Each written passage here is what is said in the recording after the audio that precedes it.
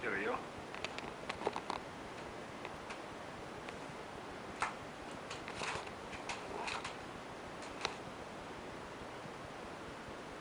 Where are you gonna go next?